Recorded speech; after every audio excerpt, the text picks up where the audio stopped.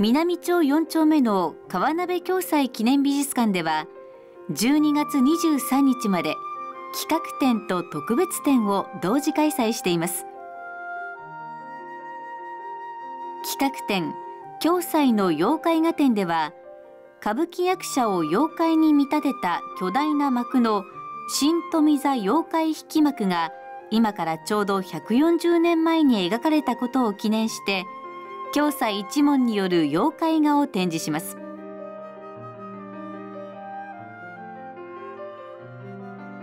また特別展の華やかな共済落画の世界展では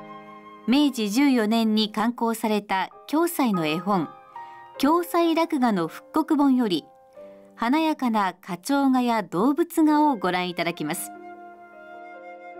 今回の美術探訪では2つの展覧会の見どころをご紹介します。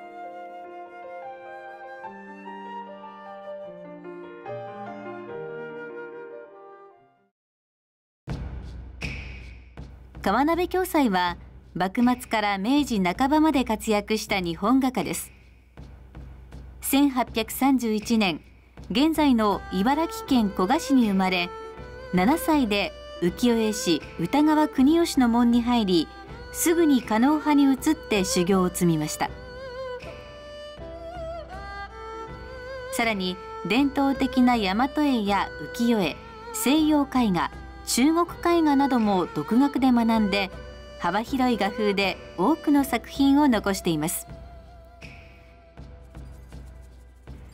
娘の京水は幼い頃から父に学んで日本画家となり今の女子美術大学が開校された頃に教えたこともあります。それではまず企画展の作品からご紹介しましょう。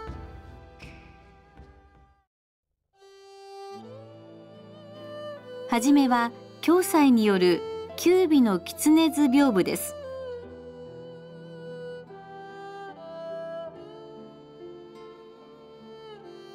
の文字入りの冠をかぶる中国風の人物と腕輪をつけたインド風の人物が紐で輪を作り富士山を餌にして九尾の狐を捕まえようとしています。共済のひ孫の川鍋久住館長によると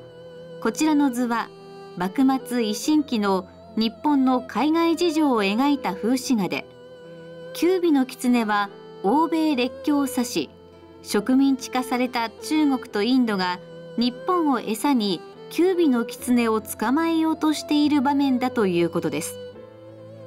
九尾の狐が尾を広げて飛び上がる姿が迫力ある屏風です。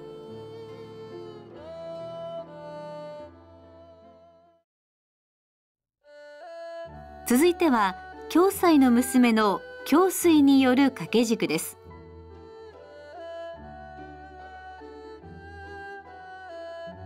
美人と相合い傘をしているのはぎょろりとした大きな目の鬼です。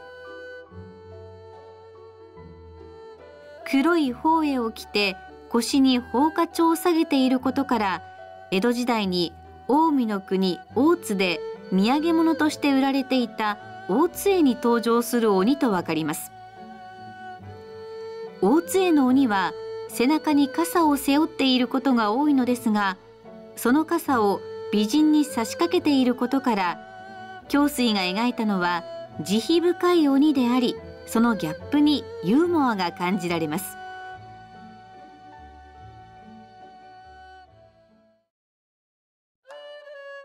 こちらは大津絵の鬼と槍持ち役を描いた京斎の下絵です。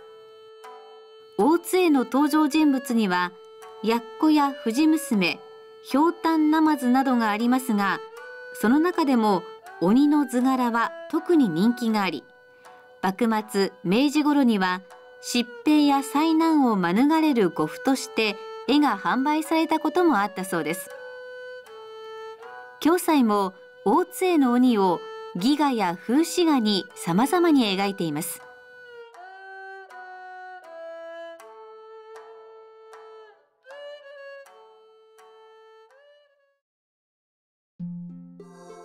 京斎の下絵変化図には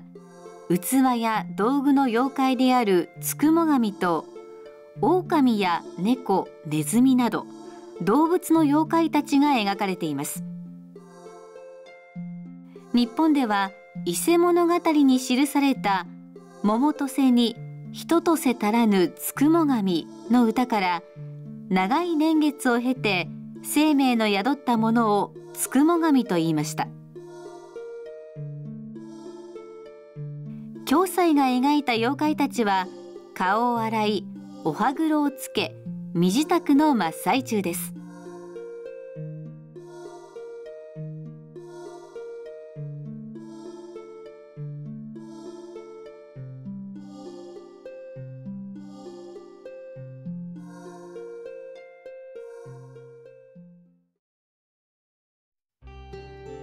続いては暁斎の絵本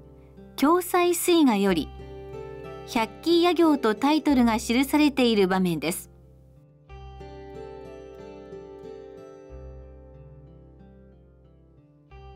鼓や仏具の運搬木魚など鳴り物類が妖怪となったつくも神と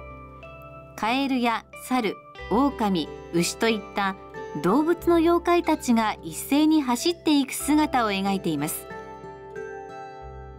この絵本は3編まで出版されており妖怪だけではなくさまざまな題材が収められていますので絵のお手本の役割も果たしたと思われます。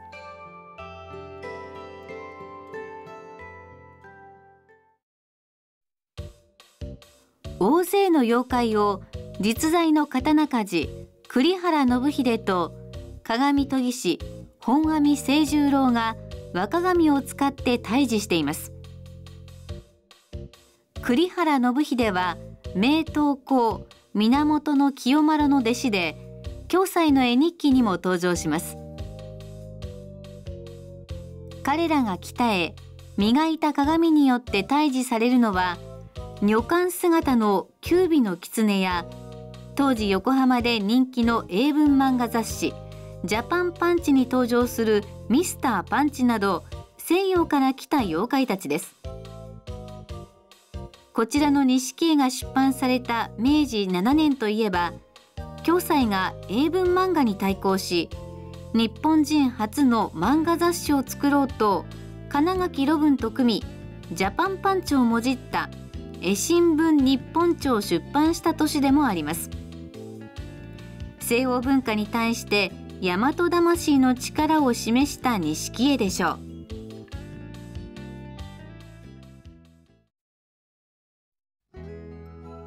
続く第三展示室では特別展華やかな共済落画の世界展を開催しています。共済落画は共済の動物画を集めた色づりの版画集で剣紺の2冊がセットになっています。いずれも動物の特徴をよく捉えながらデザイン性に優れ色彩も大変美しいことから暁斎が存命中から欧米へも渡るようになり1884年頃にはフランスで絵皿の図案に使われたほど人気を博しました。特別展では暁斎落画の復刻本の中から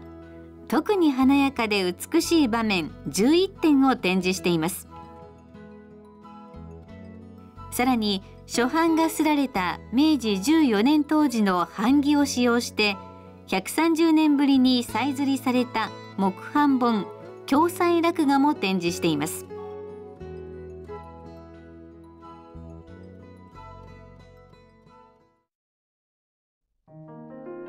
今回の美術探訪は川鍋共済記念美術館で開催中の企画展と特別展のご紹介をお送りしました。企画展では暁斎一門の描いた作品が41点。特別展では13図をご覧いただけます。12月23日まで開催されていますので足を運んでみてはいかがでしょうか。